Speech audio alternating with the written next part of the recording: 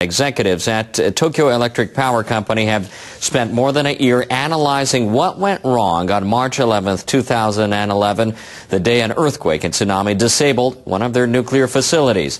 Their final report into the accident at Fukushima Daiichi offers a different view compared to other investigations, but it leaves some key questions unanswered. As the company that caused the accident, we have a social obligation to carry out a thorough investigation. We must learn from the findings and make them public.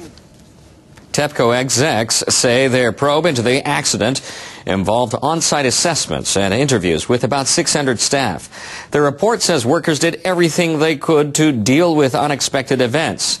It argues they generally took appropriate measures. The government panel investigating the crisis, in contrast, blamed staff for not properly operating the emergency cooling system.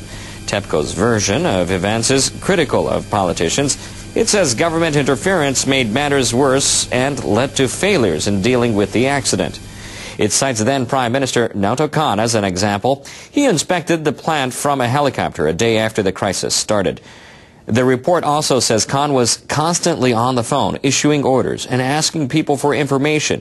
It says the intervention didn't help. But the utility's investigation doesn't address some concerns. For one, it fails to pinpoint what caused the release of so much radioactive material. It also doesn't detail how much damage the reactors suffered from the earthquake independent of the tsunami. The TEPCO report follows investigations by a government committee, a diet panel, and an independent group into how the utility and the government dealt with the crisis. But no investigation so far has looked squarely at what caused the meltdowns. That task has been left to TEPCO because many parts of Fukushima Daiichi are still off limits or difficult to access because of high radiation levels. I'm very doubtful that this report has delved into the accident in any real sense. A framework needs to be created to ensure a more independent perspective.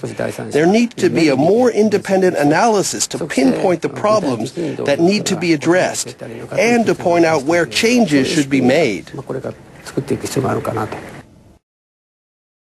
All of Japan's 50 nuclear reactors are currently offline for regular maintenance. They have to pass new safety tests before they can go back online.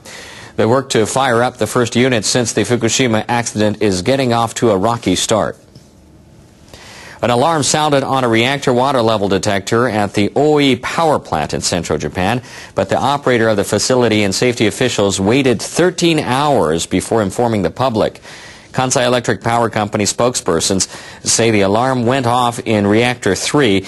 They say it suggested the water level had fallen in a tank used to cool a generator. Workers discovered the level was about five centimeters lower than usual, but they found no leaks, so their investigation is ongoing. Engineers began the process of restarting Reactor 3 last weekend, soon after Prime Minister Yoshihiko Noda gave the go-ahead to put it and Reactor 4 back online.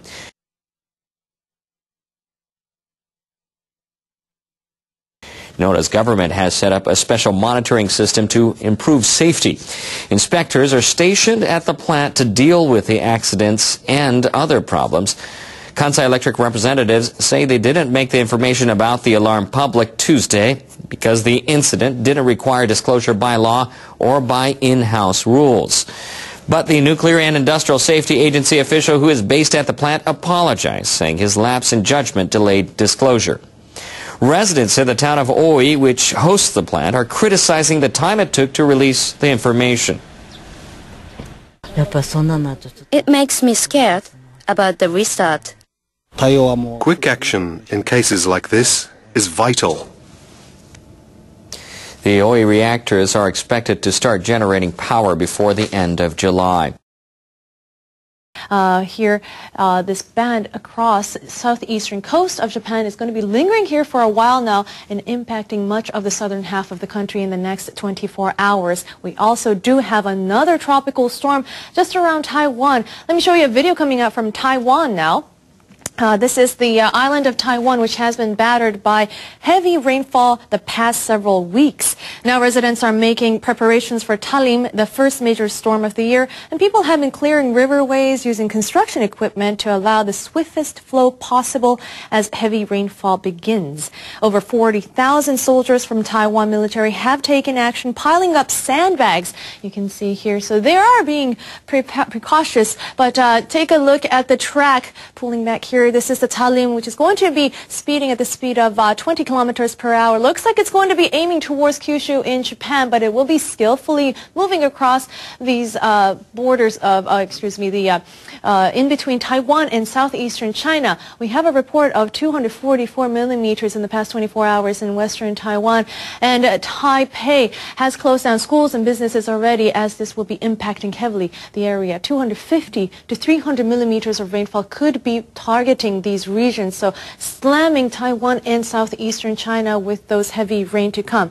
It looks like it will be dissipating by the time it reaches north of southwestern islands as a remnant low, but reminding you that that rainy season band is just uh, skirting across uh, much of these widespread showers, which will be intensifying as it moves into Kyushu region. 100 to 100, uh, 250 millimeters of rainfall could be possible in the next 24 hours. Kyushu Shikoku region in the next 24 hours.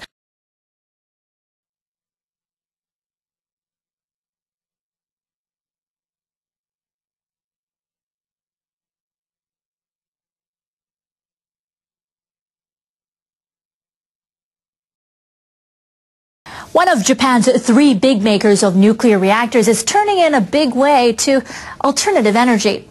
Toshiba has announced Japan's largest ever solar power project near the disabled Fukushima Daiichi nuclear plant that it helped to build.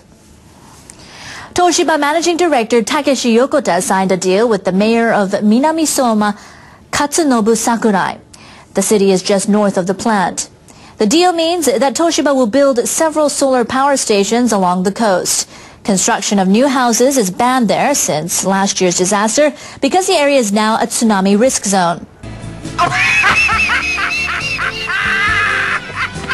What's so funny now? I sometimes just think funny things. The city plans to buy 1.5 million square meters of land and lease it to a venture set up by Toshiba. Construction will start in March and the plants will begin operating in 2014. They'll provide up to 100 megawatts of electricity, enough to meet the demands of 30,000 homes. That makes it Japan's largest solar power project. Minamisoma wants to end its dependence on nuclear power and eventually switch entirely to renewable energy. The project will be a big step forward for our reconstruction and it will serve as encouragement to residents.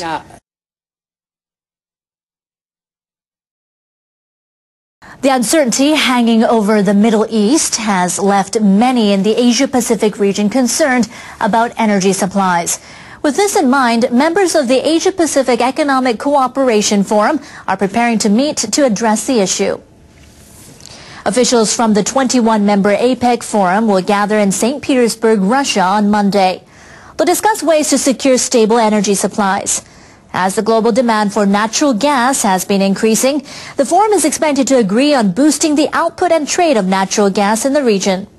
In the meeting, Japan will also explain its decision to restart a suspended nuclear power plant, the first to start operating since the accident in Fukushima. It will also explain its efforts to ensure nuclear safety.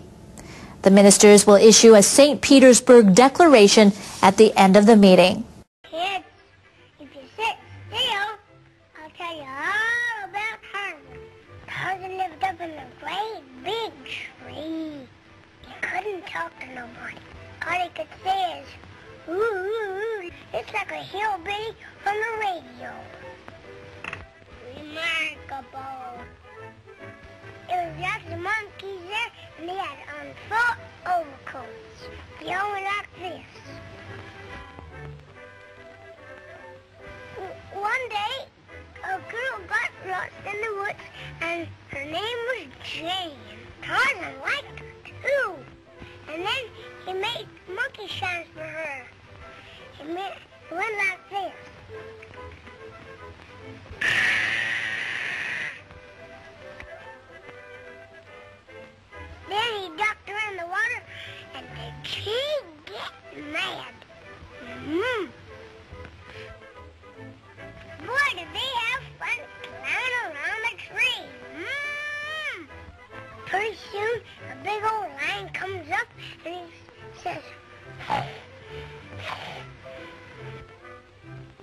and then they had a fight. And then Tarzan smacked that old lion on the beezer. And then the lion smacked Tarzan on the beezer.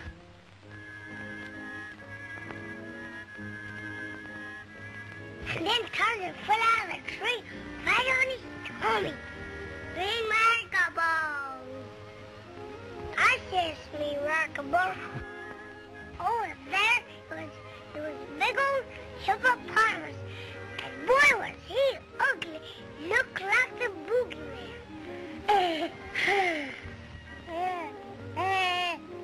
Over there is a big old rhinoceros with a toothpick on his nose.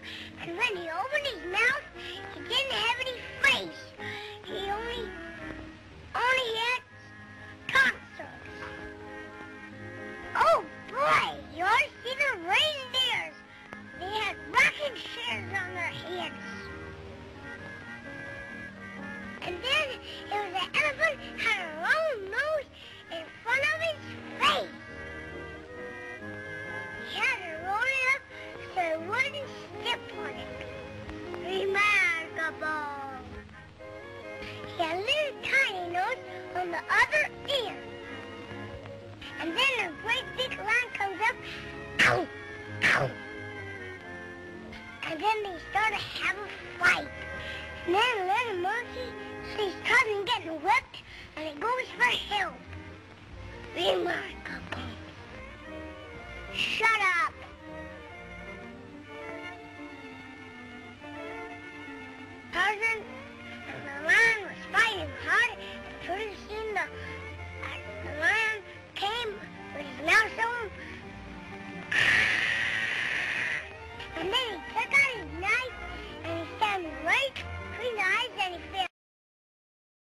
West of Tokyo, a young seal has been rescued from stormy seas whipped up by Typhoon Guchol. It was found lost and in distress on a beach and taken to Enoshima Aquarium in Fujisawa City, Kanagawa Prefecture on Tuesday. Aquarium experts took the animal in after deciding it would likely have difficulty getting food in the high seas accompanying the storm. The aquarium says the seal is between one and three years old and appears to have an injury to its jaw. So far, it seems to be recovering steadily and has eaten some fish and tried out the aquarium's pool. A keeper at the aquarium says he has no idea why an animal that typically lives in cold northern seas should come all the way to a beach near Tokyo.